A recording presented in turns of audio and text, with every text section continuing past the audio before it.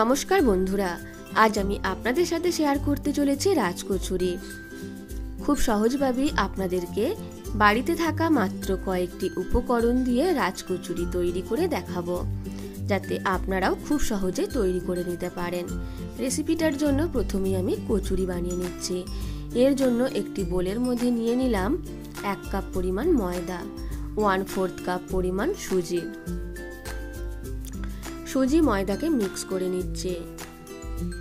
দিয়ে দিচ্ছি one fourth teaspoon baking powder baking পাউডারও mix করে নিলাম, জল দিয়ে মেখে নিচ্ছে। অল্প অল্প জল দিয়ে মেখে একটি ডো তৈরি করে নেব, ডো রেডি হয়ে গেছে। এর থেকে লেচি কেটে নেব।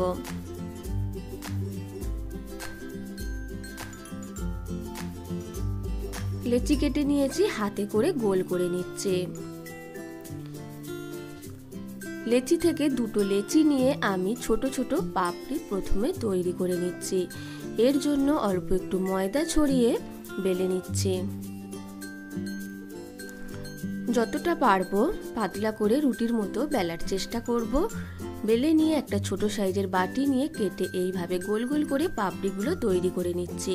আপনারা সেম এইভাবে ফুচকাও তৈরি করে নিতে পারেন। কড়াইয়ের মধ্যে পরিমাণ মতো তেল দিয়ে এগুলিকে ভেজে নিচ্ছে।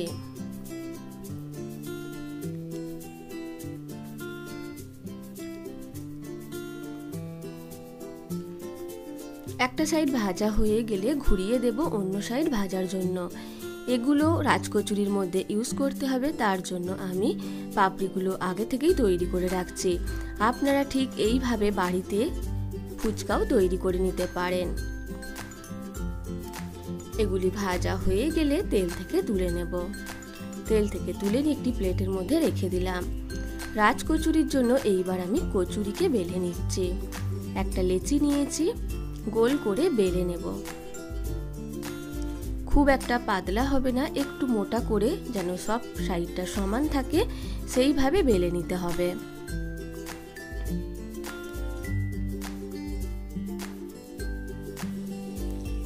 বেলে নিচ্ছি। এটা বেলা হয়ে গেল, এইবার আমি গ্যাস অন করে তেল গরম করে রেখেছি, তেলের মধ্যে দিয়ে দিলাম। ভাজার সময় দেখুন, খুব ফুলে যাবে আর দারুণ ক্রিস্পিও হবে। একটা সাইড ভাজা হতে দেব। একটা সাইড ভাজা হয়ে গেলে ঘুরিয়ে দেব অন্য সাইড ভাজার জন্য। যতক্ষণ না কালারটা চেঞ্জ হচ্ছে, ততক্ষণ এইভাবে মিডিয়াম ফ্লেমে ভেজে নিচ্ছে। এটি ভাজা হয়ে গেছে, তেল থেকে তুলে নিলাম। এইভাবে কচুরিগুলোকে একটি প্লেটের মধ্যে ভেজে তুলে ঠান্ডা করে নেব। ঠান্ডা করে নিলে বেশি ক্রিস্পি হবে, খুব গরমরে ভাবটা ভালো আসবে। একটা বোলের মধ্যে হাফ কাপ পরিমাণ টক দই নিয়েছি, পরিমাণ মতো লবণ, হাফ টিস্পুন চাট মশলা, অল্প একটু বিট লবণ দিয়ে ভালো করে ফেটিয়ে নিচ্ছে। কচুরিগুলোকে আমি ভেঙে নিয়েছি, মাঝখান থেকে ঠান্ডা হয়ে গেছে। এর মধ্যে দিয়ে দিচ্ছি মুখ কড়াই সেদ্ধ। আপনারা মুখ কড়াই সেদ্ধ না দিয়ে ছোলাকেও, কাঁচা ছোলাকে ভিজিয়ে রেখে সেদ্ধ করেও দিতে পারেন। দিয়ে দিচ্ছি সেদ্ধ আলু।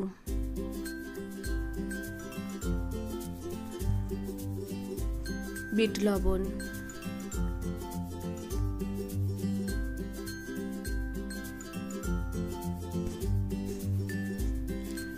কাঁচা লঙ্কা কুচি। আপনারা নিজেদের স্বাদ মতো বাড়িতে যেই জিনিসগুলো থাকবে সেই দিয়েই তৈরি করে নেবেন। দিয়ে দিচ্ছি ফেটিয়ে রাখা দই।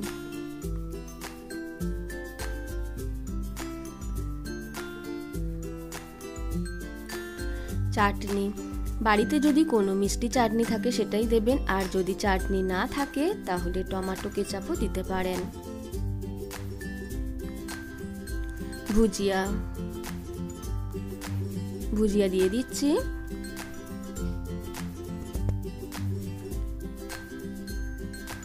ভুজিয়া দেওয়া হয়ে গেলে দিয়ে দিচ্ছি ধনে পাতা কুচি।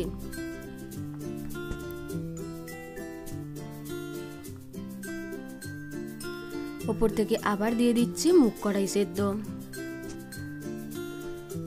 সেদ্ধ আলু। আগে থেকে ভেজে রাখা প্রথমেই যে ভেজে রেখেছিলাম পাপড়ি, পাপড়িগুলিকে ভেঙে ভেতরে দিয়ে দিচ্ছি।